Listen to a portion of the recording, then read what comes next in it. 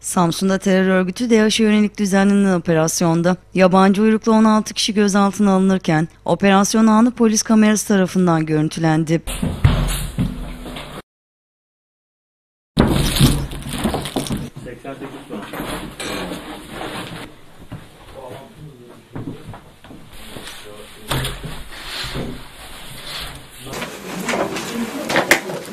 Samsun Emniyet Müdürlüğü Terörle Mücadele Şube Müdürlüğü ekipleri terör örgütü DAEŞ'e yönelik bu sabah İlk Adım ve Atakum ilçelerinde çok sayıda adrese eş zamanlı operasyon düzenledi.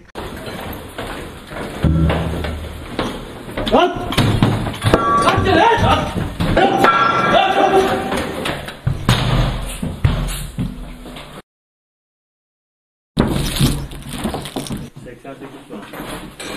Özel Harekat Polislerinin de destek verdiği operasyonda 15'i Irak uyruklu, biri Suriye uyruklu toplam 16 DAEŞ şüphelisi yakalanarak gözaltına alındı.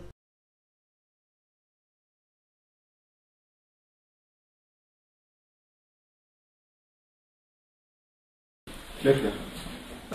Bekle.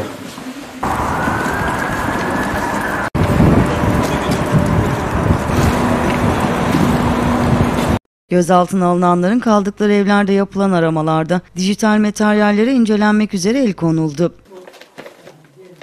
Samsun Eğitim ve Araştırma Hastanesi'ne sağlık kontrolünden geçirilen DA şüphelileri sorgulanmak üzere Samsun Emniyet Müdürlüğü TEM Şube Müdürlüğü'ne götürüldü. Olayla ilgili soruşturma devam ediyor.